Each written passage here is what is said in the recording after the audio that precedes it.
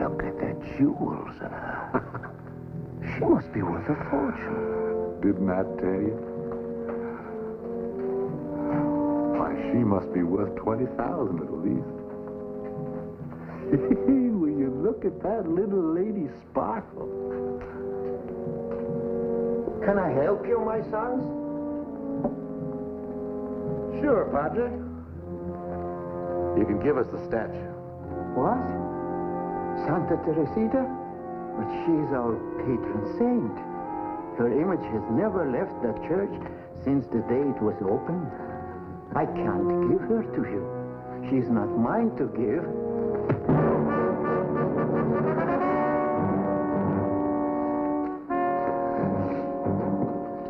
Ooh, did I say 20000 She must be worth 40000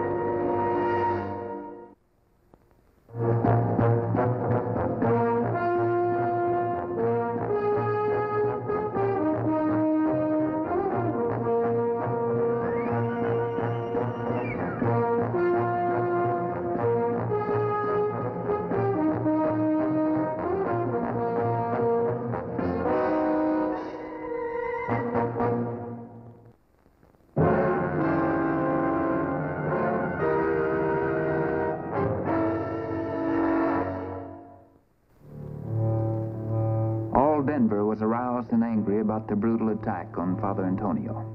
The good padre had grown old serving our community. Through the years, his unselfish aid to those in need had endeared him to people of all faiths. In a way, his job and mine were alike, but our methods had to be different because he upheld the law of God and I defended the law of man. I don't understand him. I don't understand him at all. Smitty, thank goodness you're back. Maybe you can do something with him. Father Antonio, has he regained consciousness? Yeah, but he won't tell me anything. I've been with him for the last hour trying to find out something. Well, didn't he see anything? Oh, he saw who did it all right. He'll admit that, but he won't tell me who. Or if there was more than one. Nothing. Why not? Well, he claims it's going to lead to more violence. Says we've had enough of that already. You know, Smitty, that statue's worth a fortune. Gift from the King of Spain. Padre's the only one who can help us get the guys, and he won't help us unless we agree to his terms. His terms? What are they? Ah, they're out of the question. Smitty, you know him better than I do, though. Why don't you talk to him? I will. But whatever you do, don't agree to his terms.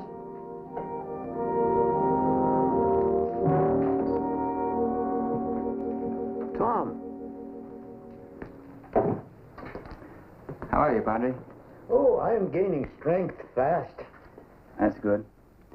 You're always comforting the sick and injured, but now who is there to visit you? You have, Tom.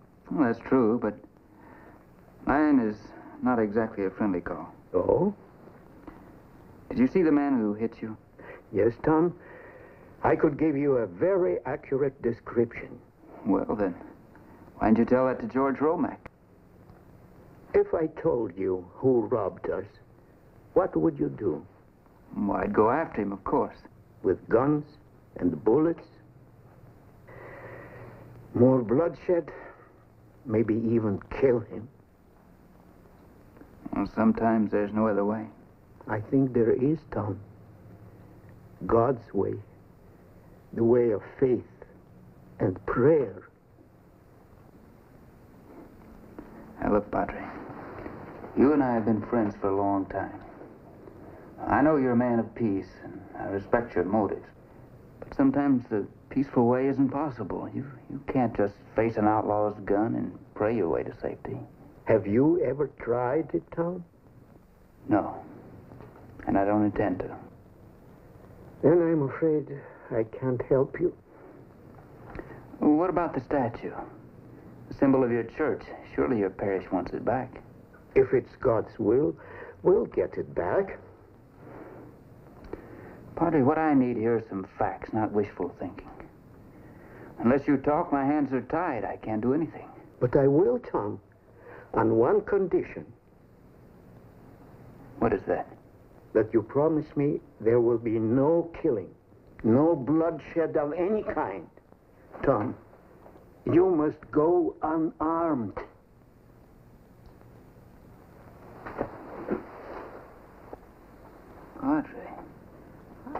Promise you not to take a gun. When I go after an outlaw, sometimes it's, it's his life or mine.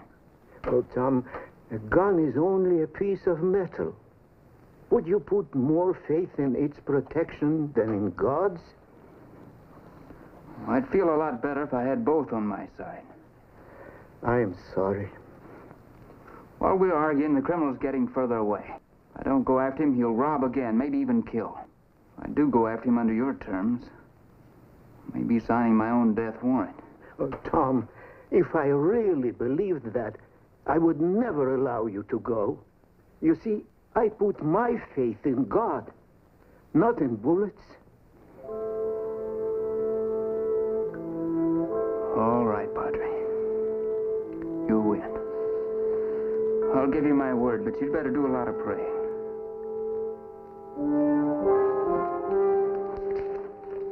Here's the answer to the telegrams we sent.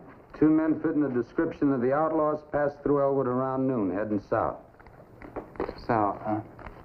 Now that figures. Small towns and few lawmen. But, Smitty, why'd you have to go and agree to his terms? No guns, nothing. The only way I could get him to talk, George. Then at least let me go with you, huh, Smitty? I can pack a gun. I didn't make no promises to the Padre. That's exactly why you can go. I gave you my word. Now, you honestly believe you can keep it? Padre does. Smitty, what chance you got against two dangerous outlaws armed to the teeth? Don't you worry, George. According to the Padre, I've got a mighty powerful partner on my side.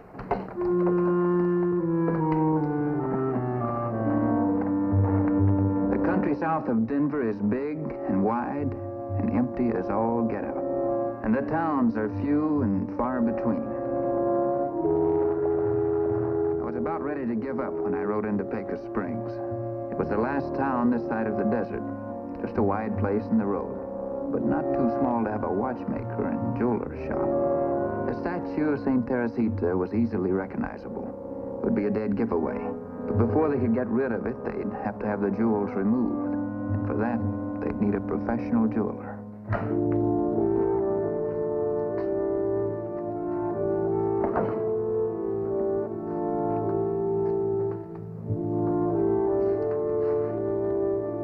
Anybody here?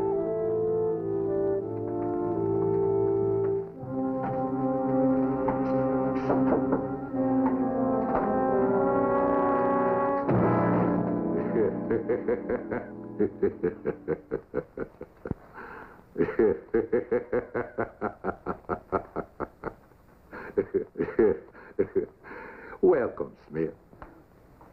Lasco.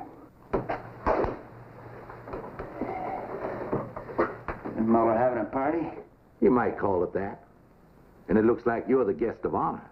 Of course, I reckon you didn't figure on attending this party. Or was it the soft-hearted Padre talked you into coming after us without no gun? Jeweler, huh? Yeah. We had to rough him up a bit.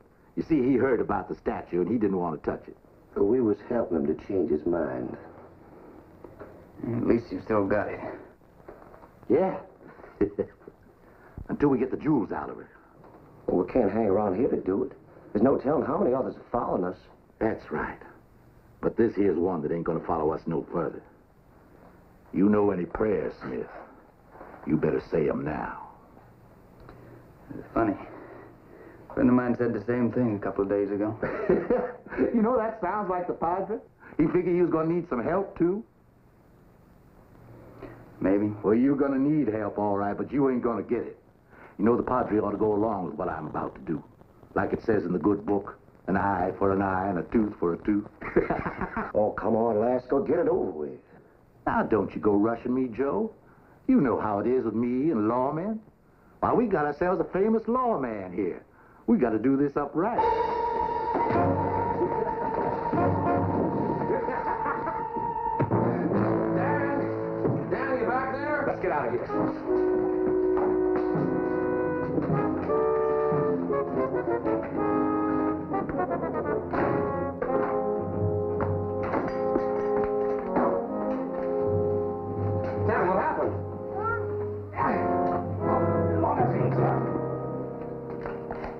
Blast it all. You all right? I think so. I guess I'm just hard-headed. How about you? Oh, I'm all right. Who are you? Police detective in Denver. Trailing those two without a gun? Yeah. Look here, mister. I got a long-range rifle in the closet and all the bullets you need. That's a real tempting offer. Sorry, I can't take you up on it.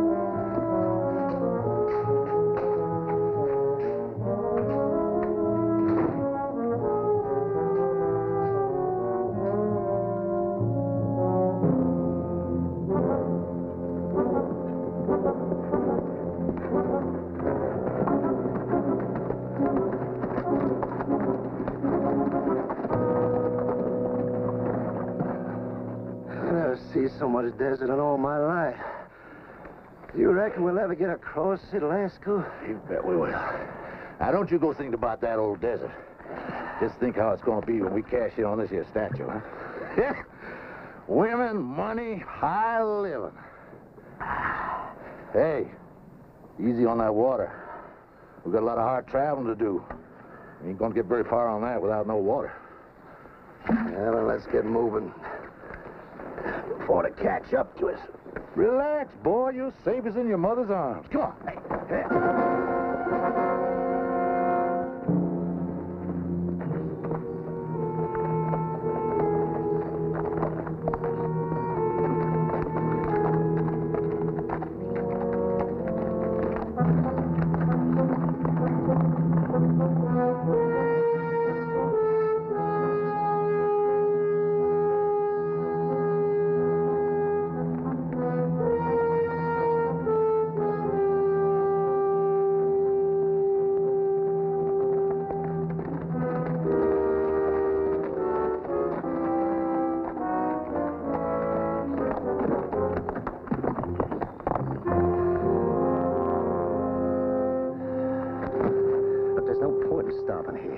That water hole's all dried up.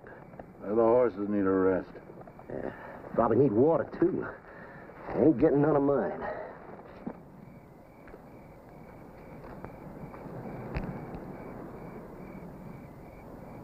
Hey, you think it's safe to light a fire? If Anyone follow us might see it. How many times I gotta tell you? Ain't nobody fool enough to follow us out here. Hmm?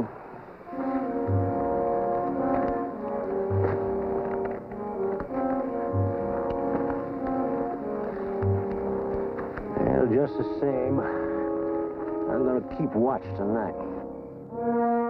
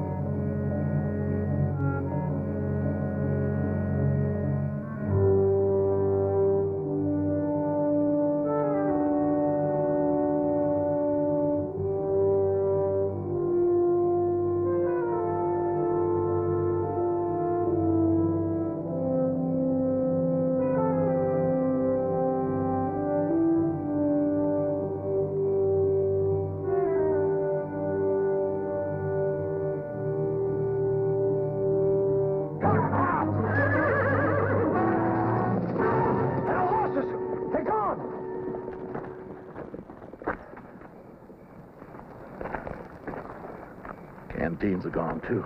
I told you we was being followed. Now we ain't got nothing. No horses, no water. And they're just waiting out there to kill us. Get hold of yourself, man. He ain't got us beat, not yet, not by a long shot. He? How do you know there ain't no whole army out there? Because if they was, they wouldn't have wasted time stampeding the horses that had taken us. That's who I think it is. He ain't probably even got a gun. Lasco! Your horses are gone and I've got your water.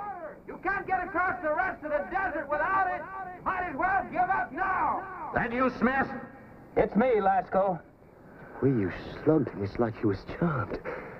How come he got the strength to follow us? I don't know.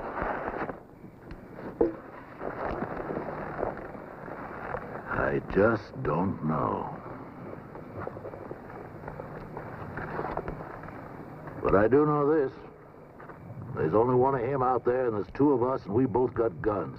The odds are still in our favor. What are we going to do? There's no telling where he is out there. We're gonna wait till it's daylight. Hey, well, supposing he don't wait. Supposing he just takes off and leaves us without horses or water. He ain't going nowhere. Not while we still got the lady. He wants her more than he wants us. Oh, that statue is a Jonah. He ain't brought us nothing but bad luck. More, you worse than a fretting woman.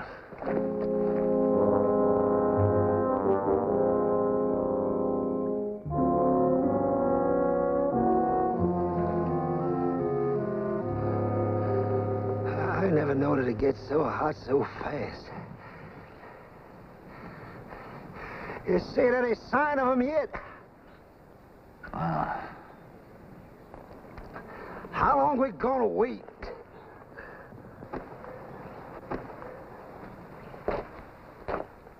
Why don't we just go looking for him? that's what he wants us to do. See what little protection we got. With him horsebacking and us afoot, he'd run us ragged all over that desert. We'd never get within gunshot of him. How long you think we'd last out in that sun? About two hours without water. He's gone. I know he's gone. He's still there. When he gets ready, he'll let us know where he is. And there's still two of us to his one. I gotta get out of the sun.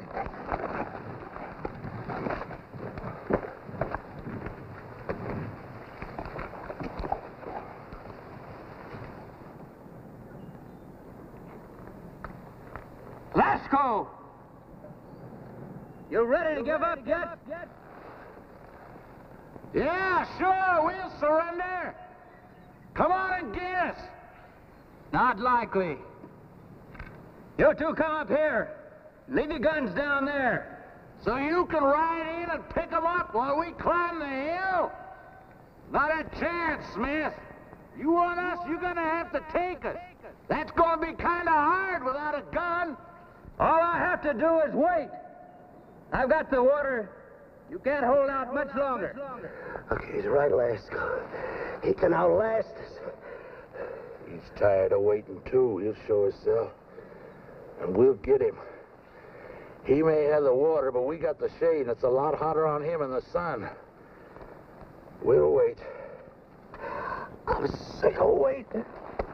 I'm sick of waiting. Smith! Where? Smith! Smith! Smith! Here I am.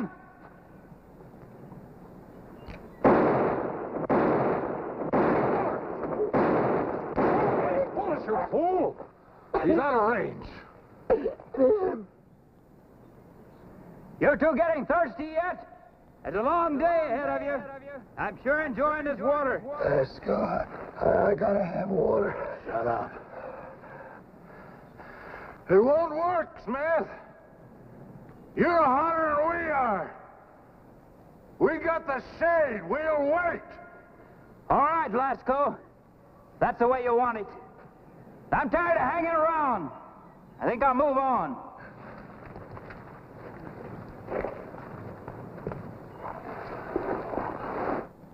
Tell you what I'll do. I'll leave you a canteen of water here. I hope you enjoy it. What's he up to? He's pouring water.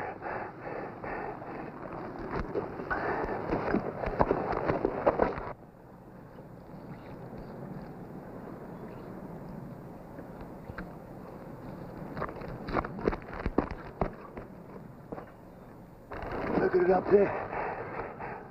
What? just waiting for someone to come up and get it. Muller, Muller, Muller, it's a trap. He's waiting to ambush us. Trap or no trap, I'm gonna get that water. Muller. Muller, don't be a fool. It's a trap.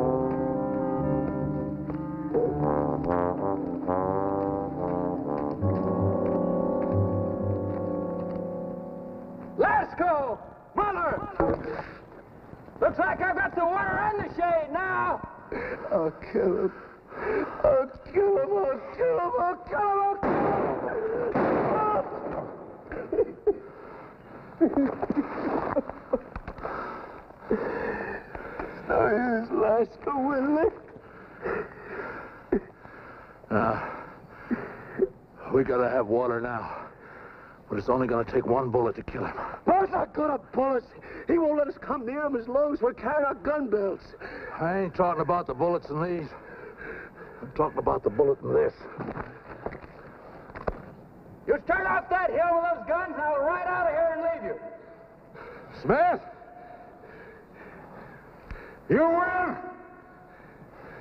We'll trade our guns for some water! All right. Drop your gun belts right where you are.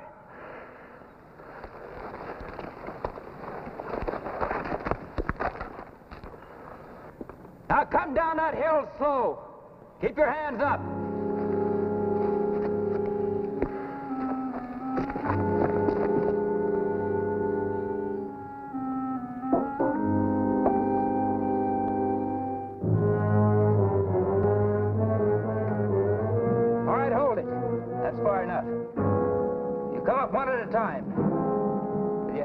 You first, Mother.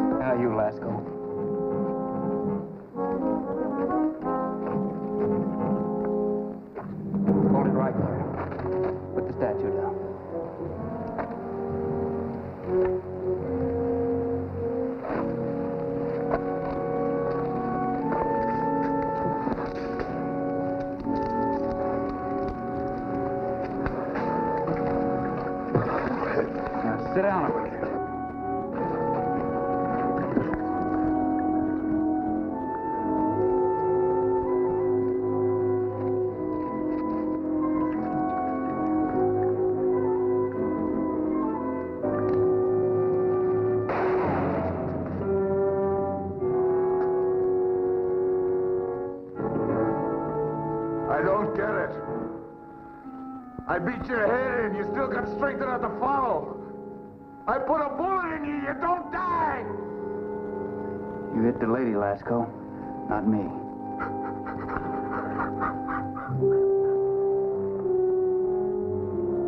I was sort of expecting a pat on the back from Father Antonio for a job well done. I should have known better. He wasn't a bit surprised to see the statue back where it belonged. He'd known all along that the men who took it didn't have a prayer of a chance.